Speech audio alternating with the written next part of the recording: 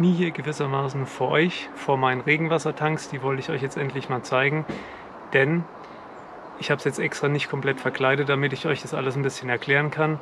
Also schaut mal her. Ich habe mir hier als Regenwassertanks zwei IBC-Container gekauft. Das sind jeweils 300 Liter und die sind, wie ihr hier sehen könnt, lebensmittelecht. Sollte man auch machen, wenn man es für Gemüse und so verwendet. Die Container könnt ihr sowohl gebraucht als auch neu kaufen. Ich habe es mir jetzt lieber neu gekauft, weil ihr müsst mal schauen, was in den Containern gelagert wurde. Ich weiß, sie werden gereinigt, aber ihr wisst nicht, wie sie gereinigt werden, wie gründlich und schaut mal nach. Da sind teilweise Chemikalien drin, Öle, Fette, möchte ich nicht in meinem Wasser haben, womit ich das Gemüse gieße, was ich zum Schluss esse. Aber wie gesagt, muss jeder für sich selbst entscheiden. Ähm, klar, die sind deutlich teurer, wenn man sie neu kauft. Lasst mich lügen, ich glaube, hier hat jetzt einer 130 Euro oder so in der Ecke gekostet. Die stehen hier nebeneinander. Der linke steht einen Ticken höher wie der rechte, da ich die miteinander verbunden habe. Das seht ihr hier unten. Da geht ein Schlauch links zu dem anderen und die sind verbunden. Sprich, das vom linken fließt in den rechten. Da er ein bisschen höher sitzt, ähm, gleicht sich das Wasserverhältnis dann auch immer aus. Und hier unten, wie gesagt, haben wir den Schlauch, haben hier einen Anschluss und hier, wenn man mag, kann man sich einen Schlauch, habe ich mir jetzt hier auch gemacht, anschließen für eine Gießkanne oder so, Auf- und Zu-Möglichkeit. Hier am Container kann man auch nochmal auf und zu machen. Und hier gibt es tatsächlich verschiedene Sets, um solche Container zu verbinden. Da gibt es ähm, auch mehrere Hersteller von und das will ich euch auch auf jeden Fall zeigen, weil das erste, was ich hatte, war echt nicht gut. Das zweite ist deutlich besser. Aber jetzt erst noch mal ganz kurz zu dem Konstrukt an sich. Wie gesagt, hier sind ja die beiden Container und hier habe ich dann angefangen, mir drumherum das Ganze zu verkleiden mit Holz. Und ja, ich habe es ja vorhin gesagt, ich habe es jetzt noch offen gelassen, damit ich euch das ein bisschen zeigen kann. Das wird natürlich dann noch komplett verkleidet hier. Und hier oben habe ich einfach auch Siebdruck, Siebdruckplatten drauf, damit das Ganze ein bisschen schicker zumindest aussieht. So, vom Prinzip her, wie die ganzen befüllt werden, weil irgendwie muss das Wasser ja rein, habe ich mir hier oben, ich hoffe ihr könnt das sehen, wo die Holzlatte zum Regenfallrohr geht, ich glaube, das Ganze nennt sich Speedy Regensammler. Bekommt man recht günstig, wird ein Rohr in das Regenfallrohr gesetzt, das Ding eingebaut und dann führt eben ein Schlauch hier oben die Holzlatte entlang, hinten runter. Der kommt dann hier runter, der Schlauch. Und dann seht ihr ja, geht er hier am Busch entlang in den höher gestellten IBC-Container. Und es euch mal kurz auf da fließt dann eben das Regenwasser rein. Hier solltet ihr auf jeden Fall drauf achten. Die kann man übrigens auch kaufen. Hier die Deckelverschlüsse, normal sind die ja komplett zu. Und das ist einer ähm, extra als Einlass vorgesehen. Hier ist ein Filter mit drin, damit der Dreck eben sich sammelt und nicht im Container landet. Das ist recht praktisch. So, machen wir das wieder rein. Auf der anderen Seite ist natürlich auch ein Deckel drauf gewesen. Den habe ich mir auch extra gekauft. Allerdings habe ich den ein bisschen modifiziert.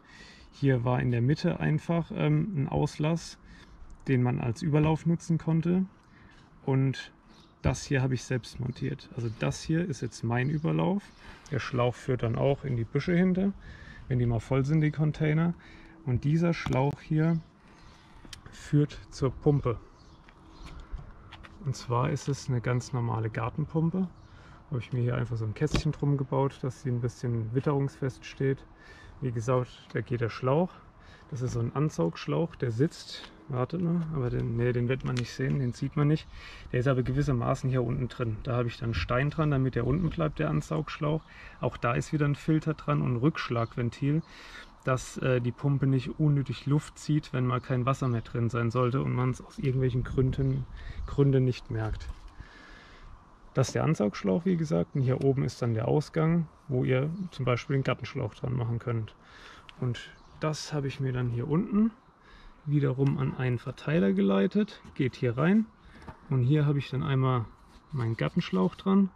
Und hier habe ich, das mache ich dann noch, einen Ausgang, ja wie ein Hahn wo man sich dann hier unten eine Regentonne mit befüllen kann. Äh, eine Regentonne sage ich, eine Gießkanne mit befüllen kann. Also man hat zwei Möglichkeiten, einmal mit dem Gartenschlauch oder eben sich eine Gießkanne zu befüllen. Ja, also wie gesagt, habe hier jetzt 600 Liter insgesamt. Das ist nicht die Welt, die sind auch tatsächlich schnell leer. Gerade wie jetzt, wenn es eben überhaupt nicht regnet. Natürlich müsst ihr das Ganze so sehen, gerade jetzt für mich, ich habe das ja neu gekauft, schon viel Geld, auch die ganzen Adapter und so weiter.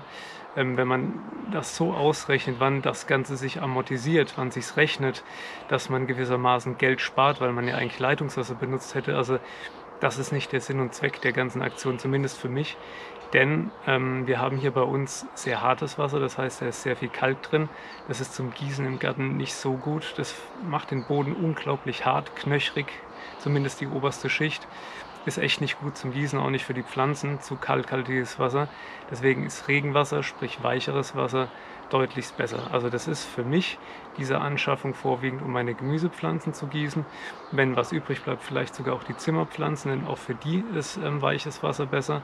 Aber ähm, der Gedanke, um da Geld zu sparen, also da muss man das Ganze komplett anders da aufbauen. Da bräuchte man wirklich viel größere Container, ähm, damit sich das auch irgendwann mal rechnet. Aber ja, also zumindest bei uns hier regnet es wirklich viel zu wenig, um zu sagen zu können, jetzt spare ich Geld mit solchen Containern, anstatt jetzt Leitungswasser zu benutzen. So, und was ich euch jetzt nochmal zeigen wollte, das alte System, was ich vorher verbaut hatte im Vergleich zum jetzigen. Und zwar müsst ihr euch das so vorstellen, hier in dem Auslass, also ist ja bei beiden Containern gleich, ich zeige es euch jetzt nur mal im einen. Wir haben hier ja einen Hahn, um den Container komplett auf oder zuzumachen. So ist er komplett offen und wenn ich ihn jetzt in die andere Richtung drehe, geht er zu. Und es funktioniert durch einen Stempel, der hier drin ist. Der Stempel ist jetzt hinten drin, sprich der Container-Auslass ist offen.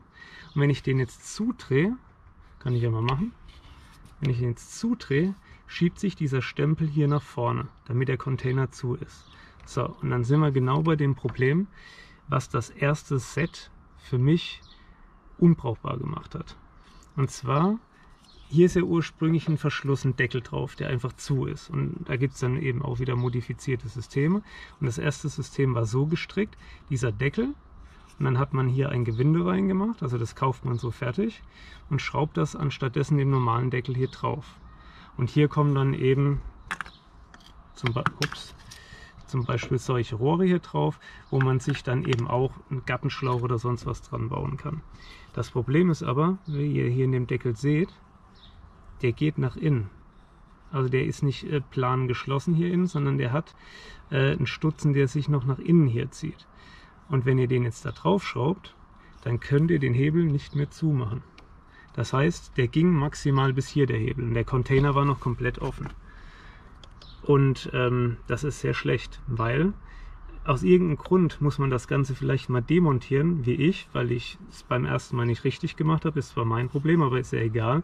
Ähm, dann muss man es eben nochmal zumachen, dass man es demontieren kann.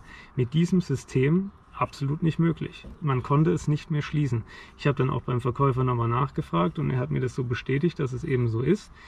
Ähm, das ist nicht gut. Also ich, ich mache sowas ja nicht gern, aber ich möchte euch davor bewahren, denselben Fehler zu machen. Also dieses System, mit dem ich zumindest nicht zurechtkam, vielleicht war ich auch einfach zu doof für, aber ich denke nicht, weil ich habe es mir ja bestätigen lassen beim Händler, war von FN-Technik hieß es, glaube ich. Ich bin damit einfach nicht zurechtgekommen und es ist für mich auch äh, von der Qualität her nicht so gut und auch vom, vom Sinn und Zweck, von der Logik her nicht optimal ausgedacht. Das andere System, was ich mir jetzt gekauft habe, ähm, ist das hier. Oh, sorry, wurde gerade unterbrochen. Ich habe hier unten am, am Gartenweg ähm, Bananenrhizom-Stücke hingelegt, also Wurzelstücke von Bananenstauden zum Verschenken und da hat mich gerade jemand angesprochen, ob er die mitnehmen kann und wie er die einpflanzen muss. Deswegen die kurze Unterbrechung. Also, wo sind wir stehen geblieben? Wie gesagt, also die von FN-Technik kam ich nicht mit zurecht und sind aufgrund der Konstruktionsweise für einen IBC-Container für den Zweck, wie ich ihn hier einsetze, meines Erachtens eben nicht brauchbar. Ich habe mir dann eine andere Tankverbindung von einer anderen Firma geholt. Die heißen Class IBC also C-L-A-S-S, wenn ich, wenn ich mich nicht täusche, geschrieben. Ähm, habe ich auf Amazon gekauft. Ich weiß nicht, ob die auch einen eigenen Shop haben. Das sieht dann anders aus. Da müsst ihr mal schauen. Allein dieser Part hier, von dem ich euch gerade vom anderen Hersteller äh, gezeigt habe, schaut mal, wenn ihr das vergleicht. Da ist der Deckel vom, vom neuen fast doppelt so, so tief wie der vom alten. Und der ist innen auch komplett hohl. Das heißt, da ist nicht so ein Wulst innen drin, sondern der ist bis hier hinten hohl. Der wird hier drauf geschraubt und ich kann hier ganz bequem diesen Stempel, der es auf und zu macht, bewegen. Stört sich überhaupt nicht daran. Und alleine deswegen ist für mich diese Art der Konstruktion der anderen deutlichst vorzuziehen. Und auch ich muss, äh, ich will es wie gesagt, ich mache sowas nicht gern, das eine schlecht reden, das mache ich auch eigentlich nicht. Ich vergleiche es halt nur, es sind meine Erfahrungen.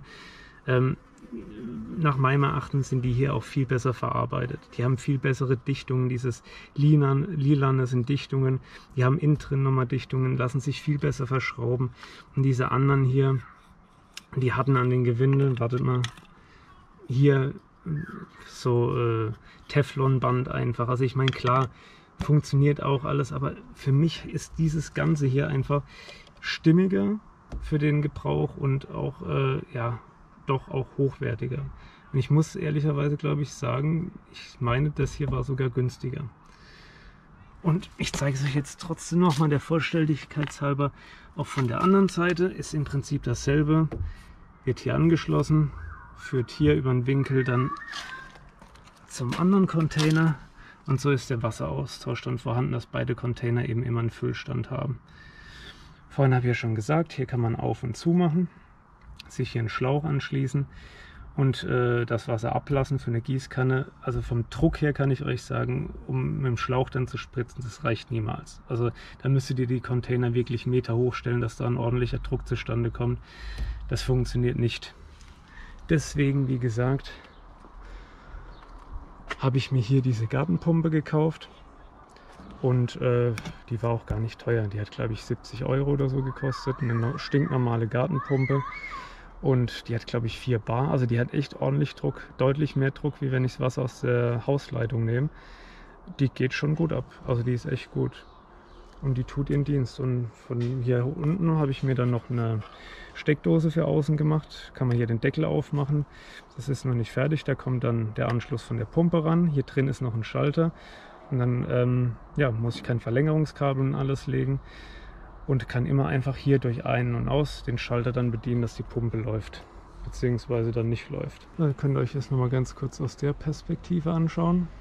Da ist wie gesagt das Regenfallrohr, wo hier der Ausgang dann ist. Speedy Regensammler heißt es. Einfach zu montieren, kein Stress. Dann geht der Schlauch hier über die Holzkonstruktion hinter den Busch und dann da in die Container. Ich finde es eigentlich für dafür, dass es eine, eine, eine Regensammelstation ist, dann doch ehrlich gesagt ganz hübsch. Dieses Holzkonstrukt will ich dann hier noch, habe ich hier eine Weinpflanze, also Weintrauben hingesetzt, Tafeltrauben besser gesagt. Die sollen dann da hochwachsen, so ist zumindest der Plan. Und dieses Konstrukt mit dem Holz und dem Schlauch so ein bisschen verschönern und man hat dann ja auch noch Trauben. Und wenn ihr euch jetzt vorstellt, dass diese ganze Geschichte komplett verkleidet ist, da kann man dann auch noch die ein oder andere Pflanze dranhängen oder stellen. Ich finde es einen schönen Kompromiss, dass man Regenwasser hat, um seine Pflanzen, Gemüsepflanzen mit weichem Wasser zu gießen. Und eben, ja, es sieht ja auch nicht schlecht aus dann.